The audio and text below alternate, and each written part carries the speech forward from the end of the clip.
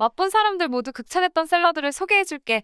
감히 말하지만 이 샐러드는 급이 다른 완전 another level 맛이야. 풀떼기만 있는 거 아니지? 닭가슴살에 오일을 발라주고 랩을 씌워 전자레인지에 2분씩 3번 돌려줄 거야. 한 번에 6분 돌리면 다 터져서 난리 난다. 닭가슴살은 잘게 찢어 준비해두고 양배추는 1cm 두께로 썰고 오이는 반으로 갈라 어슷 썰기 해줘. 소금 넣고 20분 절여준 뒤 물에 헹궈낸 다음 물기를 있는 힘껏 꽉 짜줄게. 계란은 15분 삶아 잘게 썰어줘. 양조간장, 미림, 까나리 액젓 한 큰술씩 넣고 식초, 연겨자, 식여자, 레몬즙을 두 큰술씩 넣어줘. 마요네즈는 듬뿍 떠서 7숟가락 넣어줄게. 설탕, 다진 마늘, 후추 넣어주면 마성의 소스 완성이야. mixing bowl에 다 때려 넣고 살살 버무려줘. 메인 요리를 쭈구리로 만드는 알싸한 겨자 소스가 완전 어른의 맛이야. 그거 나한테 너무 심한 거 아니요?